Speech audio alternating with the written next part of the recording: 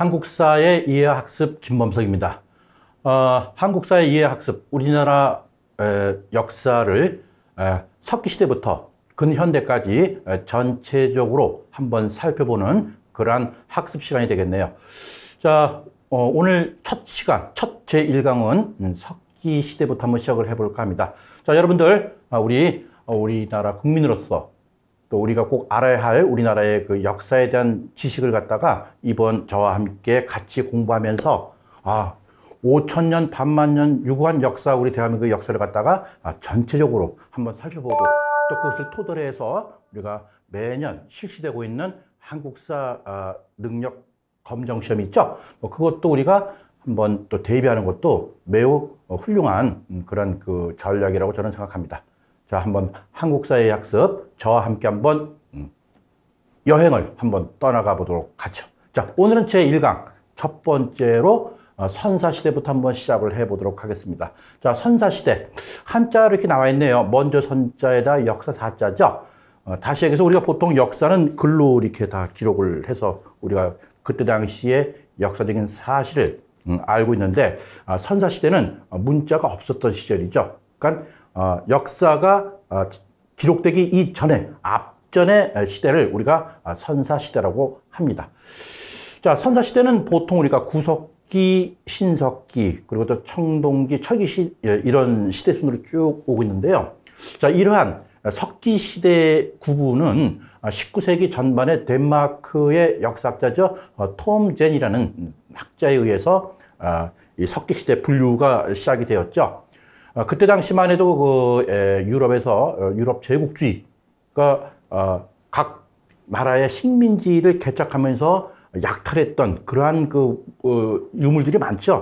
그 그러한 유물들을 갖다가 어, 무분별하게 이렇게 나열하다 보니까는 어떤 시대적 구분이 제대로 안 되어서 결국은 학자 톰젠이라는 학자가 직원들과 함께 토론하면서 아 이러면 안 되겠다 싶어서 이렇게 한번 우리가 시대를 분류를 하는 그런 바, 어, 법을 최초로 이렇게 어, 시작을 하게 된 거죠.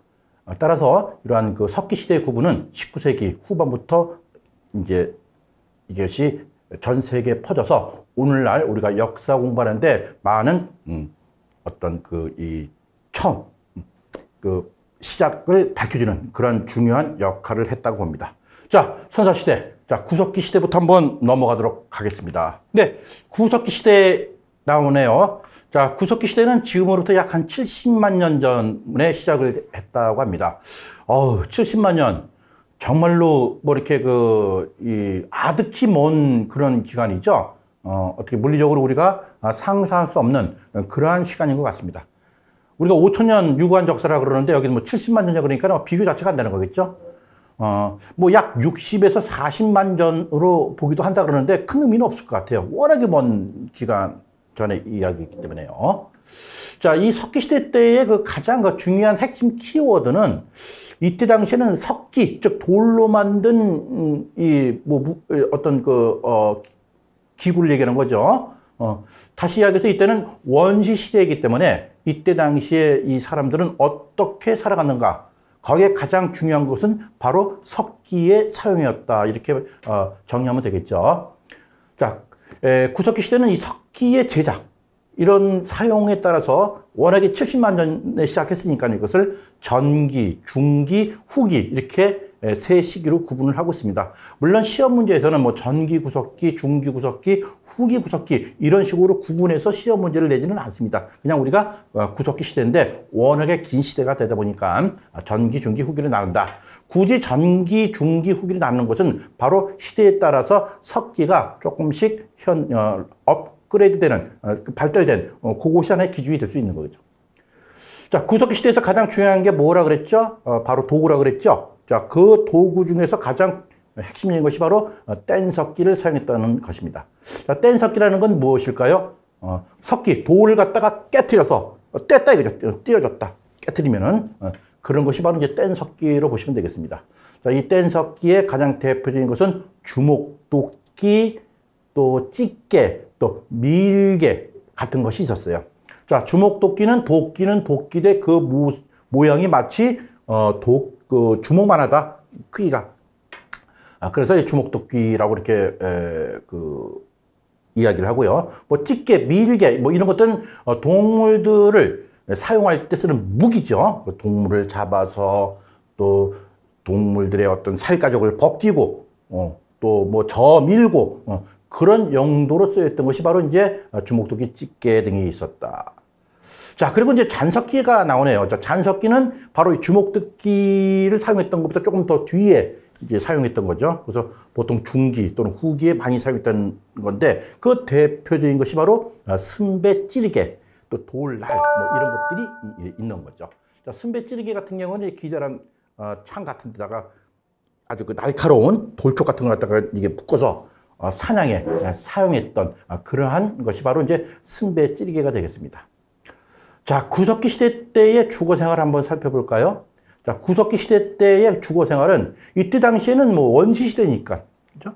어, 하다 보니까 어떤 문화적, 어떤 경제적 이러한 것들이 뭐 발달되기 전이기 때문에 이때 당시에는 주로 어, 동굴이나 또는 야외 또는 강가에서 막집을 짓고 거주했다라는 거죠. 자, 여기서 막집이 매우 중요하죠. 음, 막집. 우리 막춤 치듯이 그냥 집을 그냥 막 되는 대로 짓는 거예요. 막집. 그리고 어떤 자연의 어떤 그, 이, 어떤 그, 뭐랄까요. 어, 뭐, 비바람. 예? 눈이 온다. 비가 온다. 영하 뭐 20도로 떨어진다. 이런, 뭐, 물론 석기시대 때는 그 빙하기가 있었죠. 뭐, 이럴 때 몸을 갖다가 이렇게 좀 그, 이, 어떤 운동할 수 있고 좀 보존할 수 있는 그러한 주거가 바로 이제 동굴이었다. 그래서 이 구석기 시대 때의 유물을 갖다가 아, 이렇게 발견하는 데 보면은 주로 동굴에서 많은 유적이 발견이 되, 기도 하죠. 자, 사회생활 한번 살펴볼까요? 자, 사회생활은 이때 당시에는 어, 전부 다 무리지어서 이동생활을 했다. 다시 얘기해서 각계 전투, 즉 개인 플레이가 전혀 안 되죠. 어, 이때는 뭐 원시 시대이기 때문에 정말 뭉치면 살고 흩어지면 죽을 수밖에 없는 그러한 시대가 바로 구석계 시대였습니다. 따라서 무리지어서 이동 생활을 하고 또 이때 당시에는 무리지었지만 은 그 중에 누군가 리더가 한 명 있어야 되겠죠. 어, 그래서 어, 평등사회 어, 자연스럽게 여기서 연장자가 지도의, 지도자의 역할을 했다는 점. 요것이 이제 구석기 시대의 특징이라고 볼 수 있는 거죠. 자, 구석기 시대 때의 경제 생활은 어땠을까요? 자, 구석기 시대 때의 경제 생활은 주로 식물의 열매라든가 줄기, 뿌리를 갖다가 채집을 하거나 또는 강가나 바닷가에 가서 또 수렵 생활에서 동물, 또 물고기를 잡아서 먹는 어, 그러한 경제 생활을 했다는 점, 이것이 바로 구석기 시대의 이야기죠.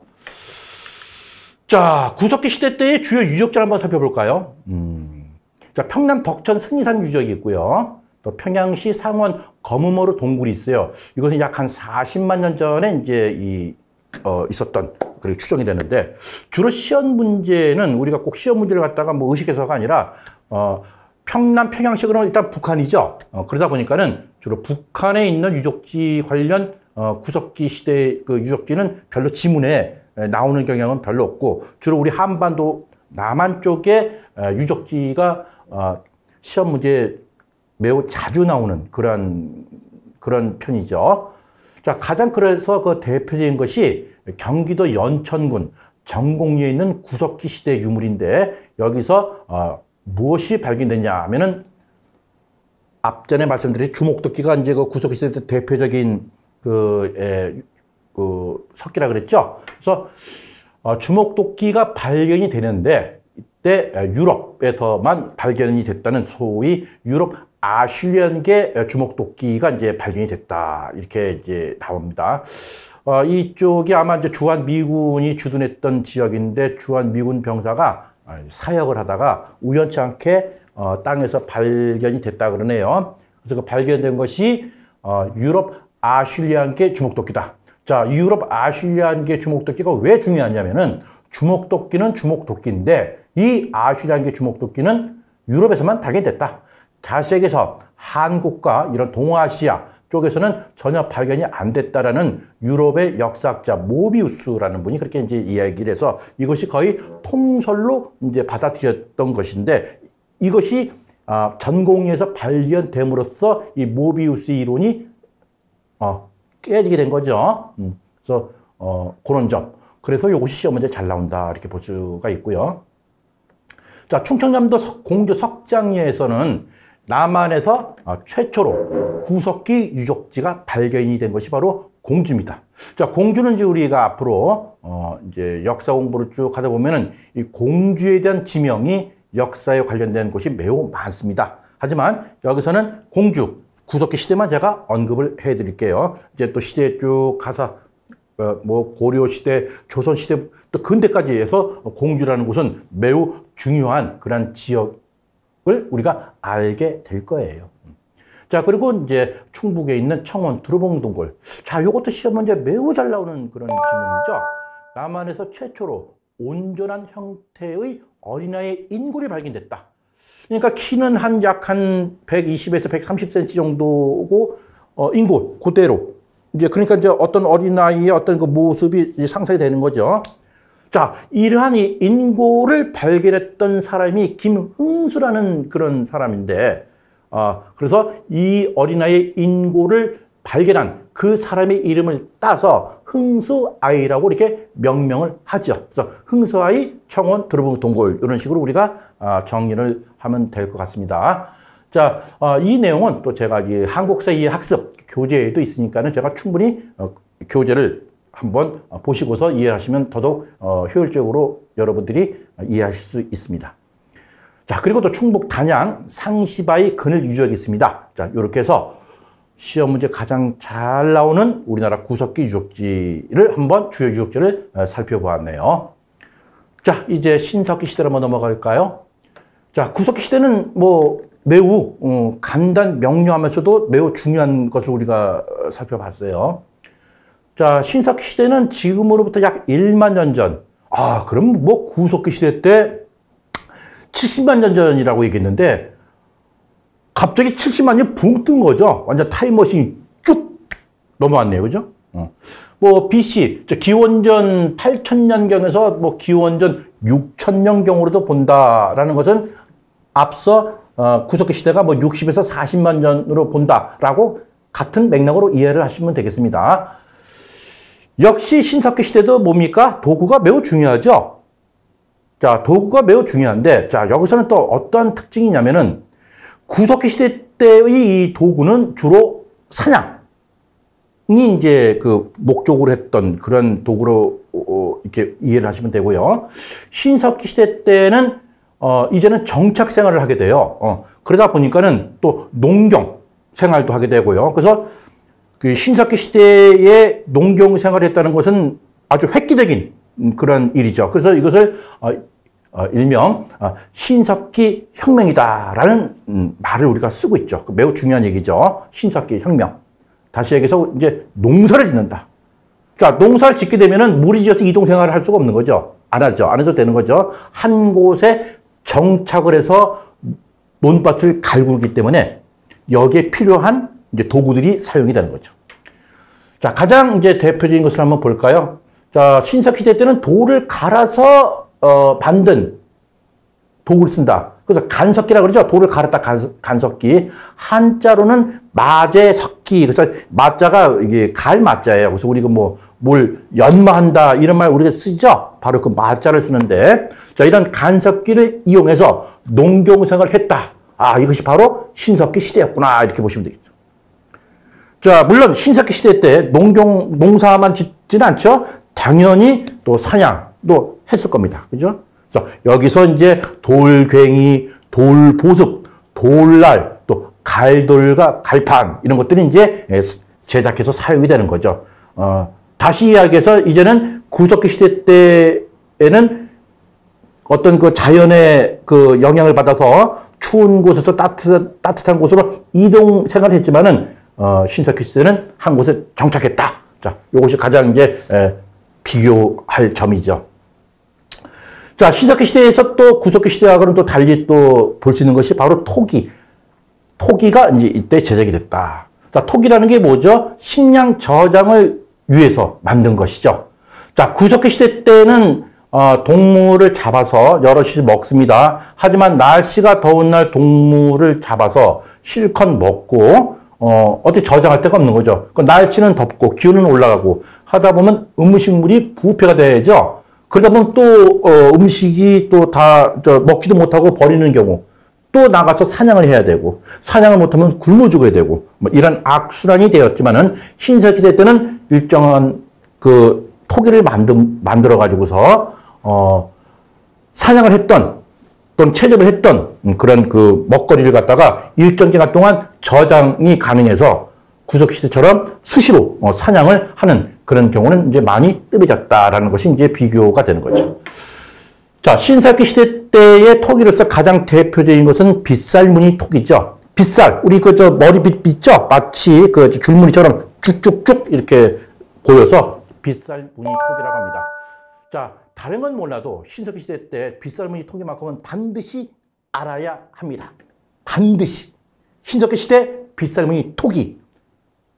자, 그리고 조금 더 우리가 더 공부를 한다면은 이때 토기가 또 이런 민무늬 토기도 있었고, 또 던무늬 토기도 있었고, 또 눌러 찍기 토기. 눌러 찍기를 갖다가 또 이 한자로 표현한다면 누를 앞자 써서 아빈문 토기라고도 하죠. 자, 신석기 시대 때 경제생활 한번 살펴보도록 하겠습니다. 자, 신석기 시대 때는 신석기 혁명 말씀드렸죠? 자, 드디어 농경을 시작이 되는 거죠. 농경을 시작하다 보니까 가축도 일으키게 되는 거죠. 개, 돼지 같은 거. 그래서 목축도 시작이 됐다. 아, 매우 중요한 음, 겁니다, 이건요. 그러면서 이제는 원시적인 수공업도 이제 시작이 됐다.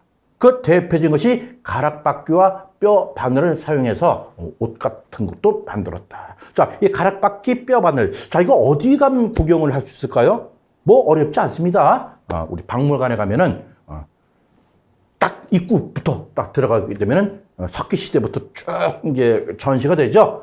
한번 가서 꼭 구경 한번 해보세요. 백문이 불여일견입니다. 물론 봐도 그렇게 큰 감흥은 전 음, 그런 건 없어요. 워낙에 오래된 거니까 아 이게 비싸면 토이구나. 아 이게 가락바퀴와 뼈 바늘이구나. 별거 아니네. 뭐 이렇게 할 수도 있지만 야, 그 수십만 년 전에 어, 인류가 시작했을 때 이런 것을 어, 사용했구나라고 이렇게 머릿속에 의미를 듣고서 본다면은 또 다른 느낌이 있을 줄로 저는 음, 또 느껴질 거예요. 그죠? 자, 신사기 시대의 주거 생활 한번 살펴보도록 하죠. 자, 정착 생활이 시작됐죠? 그러다 보니까는 에, 구석기, 구석기 시대 때는 막집을 졌다 그랬는데 신석기 시대 때는 어, 강가나 바닷가에는 이제 반, 움집을 짓고 거죠. 움집. 막집과 움집 잘 구분하셔야 돼요. 그래서 이런 움집터는 반지하 형태로해서 한 번에 네명에서 다섯 명이 살기에 알맞은 크기로 바닥 모양은 원형이거나 방원, 어, 둥근 방형, 네모꼴로 해서 이렇게 만들어서 움집을 지었다. 자, 이것은 청동 시대까지도 쭉 갑니다. 자, 사회생활은 어, 구석기 시대 때는 평등사회라 그랬죠? 평등사회 또 저 연장자가 또 리더 역할을 했다. 자, 신석기 시대 때는 이제는 같은 핏줄이 모여서 시족을 형성했다. 그래서 하나의 공동체를 이뤘다. 정착 생활을 했다. 그리고 이때 조계혼 제도가 있었다. 조계혼 제도는 다른 시족과 결혼하는 거죠. 그리고 또 계급이 없는 평등한 공동체 사회를 구성한 거는 구석기 시대와 같다. 자, 농경 생활을 했, 기 때문에 이제는 이동할 필요는 없지만은 어, 나름대로 자급자족을 했죠. 자급자족으로 하지만은 나름대로 폐쇄적인 경제 독립체를 형성했다는 점이 이제 신석기 시대의 사회생활로 보시면 되겠습니다. 자, 이제 구석 시대하고는 너무나도 판이한 거죠. 자, 신석기 시대 때는 또 종교도 이때 나타나요. 종교. 야, 종교 지금 우리날 오늘날 우리 현대도 그 종교가 얼마나 많습니까? 그죠? 그 대표적인 뭐 기독교, 불교, 또 유교, 뭐 이슬람교 어 그런 그이 종교가 아 신석기 시대 때도 이제 태동이 됐구나 이렇게 보시면 되겠습니다. 자 원시 신앙의 발생이죠. 애니미즘. 자 모든 사물에는 정령이 깃들여 있다.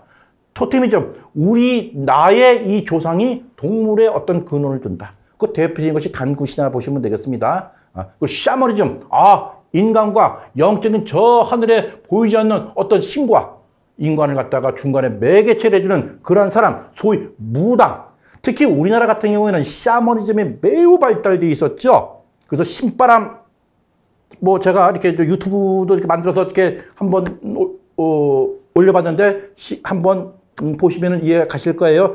모든 도초의 신이 바람을 일으키는 그런 샤머니즘 성격의 종교가 신석기 시대 때 있었다라는 점을 한번 제가 다시 정, 부연 설명해 드립니다.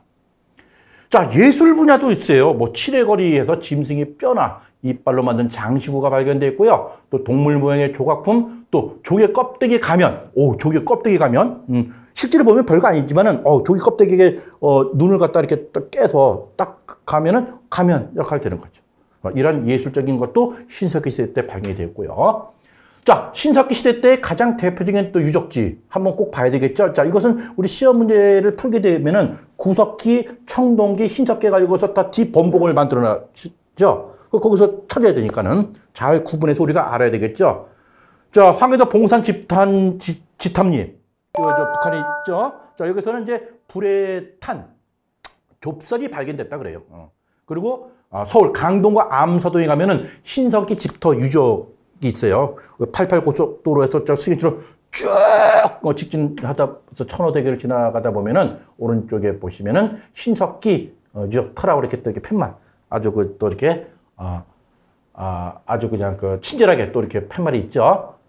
자, 그리고 강원도 양양 오산이 유적이 있는데 여기서는 던무늬 토기, 아빈문 토기, 또 얼굴 모양 조각이 발견됐고요.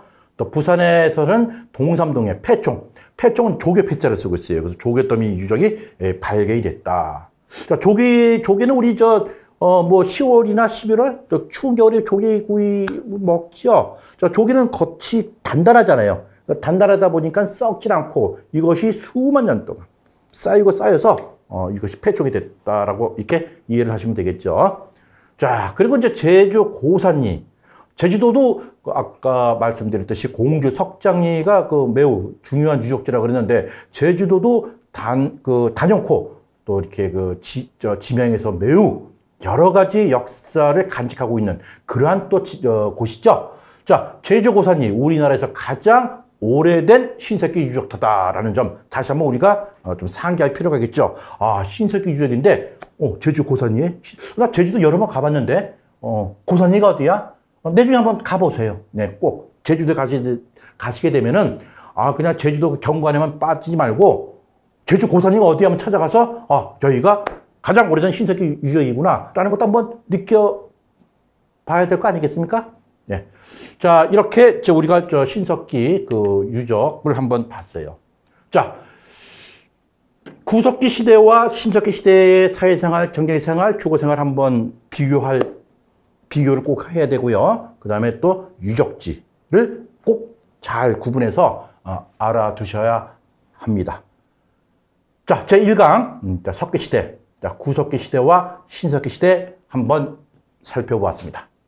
한국사회학습 김범석이었습니다.